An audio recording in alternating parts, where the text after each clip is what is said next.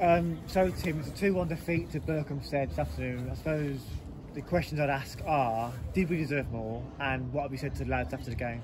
Well, well, I won't use the language I uh, use, but um, did we deserve more? I, I, thought it was very similar to the game at our place a week ago. Thought it was a bit of a war of attrition on a on a difficult surface. Um, I thought we definitely uh, once again created quite a few or got in some really good areas and then the Scotch missed at the end of it. Uh, the two goals that we give away are absolutely abject at any level. You cannot cannot make mistakes like that in the middle of your defence um, and, and expect to get away with it, one and two to win football matches. So when you look at the, the cold light of day, we've conceded three goals in a week to, to Berkhamsted, and every single one of them's been a calamitous individual error. So, you know, that, that then erases and eradicates everything that they've done. There was some really good performances in there. I thought Newley did terrific. I thought uh, Peter Bowler covered every blade where there should be grass. Um, and one or two put in some really good performances. But listen, I'm, I'm, not one for coming out and digging people out. So you cannot make individual errors like that and, and, and expect to win football matches. Um, are you concerned by the errors that keep popping up? Because I suppose it's something that you, I suppose you can't frame errors out of somebody. Well, we, we, when you say keep happening, they have the last three goals in the last two matches. Prior to that, St Ives we didn't make any errors, and um, and obviously at Hitchin we didn't. Um, you know, and we were down ten men for an hour in that. So, you know, it's not. when you look at the defensive record, you know, it's not bad. It, the problem was scoring goals. Now we've scored whatever it is, six in four.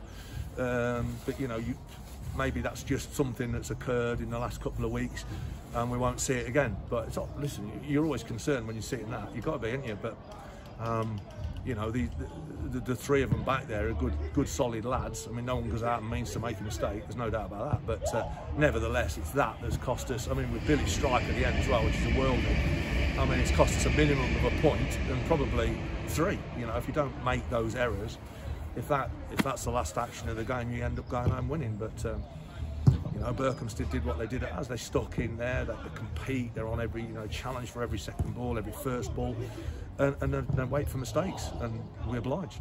Um, you said last week after the uh, in the interview after the game you might look at the formation, changing it. Mm. Is that something again you might look at ahead well, of Needham Market next Saturday? Possibly. I'll have a little look at what they do. I mean, uh, you know, I've got a little early report. They were at Stourbridge the other day, and we had someone watch them.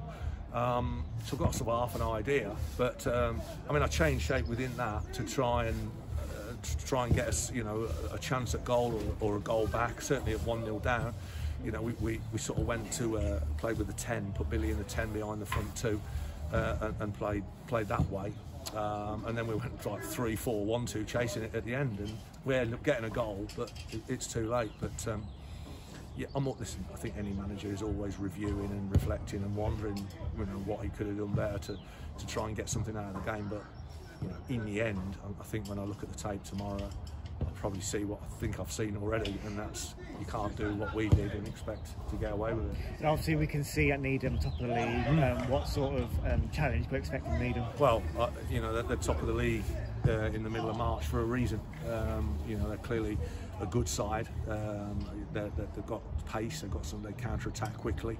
Uh, they overload areas. The right back, I think, pushes right on. From, but I think they play Redditch on Tuesday night. I think at home. So uh, hopefully, I'll be able to get uh, some footage of that and, and, and have a have a quick look. But listen, when you're top of the league in March, you're not there because you're any good. You're there because you've been the best team so far coming into the home stretch. So you know, but I, I as much as I look at those, I'm, I'm, more concerned about, you know, what our lads bring. To, I, I, saw some really good. I thought Billy did well when he went on. Do you know what I mean? Yeah. Shaq, Shaq did okay when he when he. They both did well when he came on last week. So they've they've thrown one on my toes for next week. You know, I've got to have a little think now, early doors next week, and think about. Uh, you know, personnel. Uh, uh, you know, forget shape to start with, and then have a look at what personnel I'm going to put in there. But um, got seven days to have a think about it. But uh, the disappointing thing was you know, when, when somebody beats you and you've made them work really hard and someone hits one like Billy did, sometimes you got to go, okay, you know, we, we, had a right go and that, but that was a, that was a, you know, a bit of a, a flaky, soft way to give away ultimately the game. Cheers, Top man, thank, thank you. you.